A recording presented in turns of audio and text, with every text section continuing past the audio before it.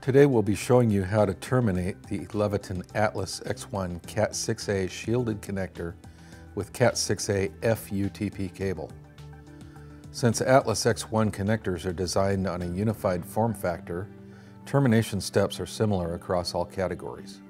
With the Category 6A strip tool, set the proper depth for the cable you're using and go once around so you don't cut into the conductors or foil. Next, break and remove the jacket.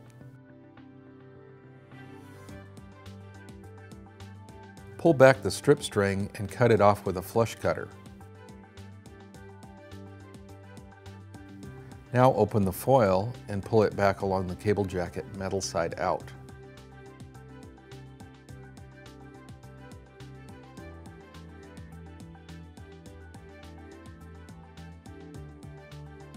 For other cable constructions that are already metal side out, you will need to put a half twist in the foil before sparing it back. The metal side should be out in either case.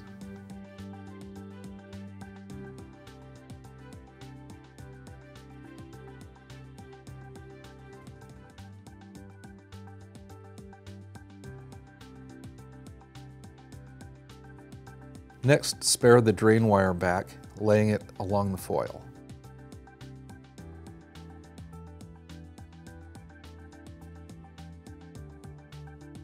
Now loosen the mylar layer, nip the mylar with flush cutters, and tear it off smoothly. Then remove the filler or other pair separation elements with the flush cutter.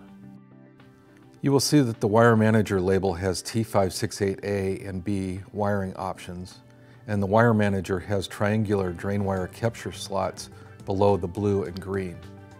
Inside the wire manager, there are grounding springs as well as a post that will line up with the strip point of the cable. Pull the drain wire close to either blue or green twisted pair, whichever is closest. Then line the wire manager up with the corresponding colored pair and snap it shut. Observing pair polarity on the wiring label, seat each pair into its wiring slot. Untwisting the pairs to ensure the center of the wiring slot is completely visible there shouldn't be any pair crossovers at that point.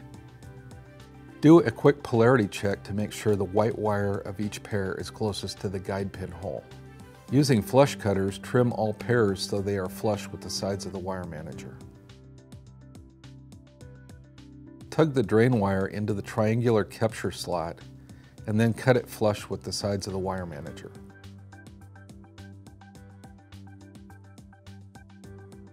Now nip the foil at the rear of the wire manager with your flush cutters and tear it away.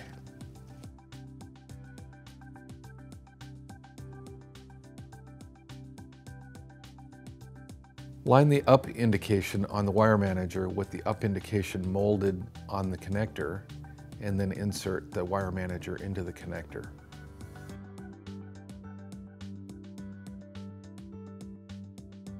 Then to complete termination, just close the rear doors.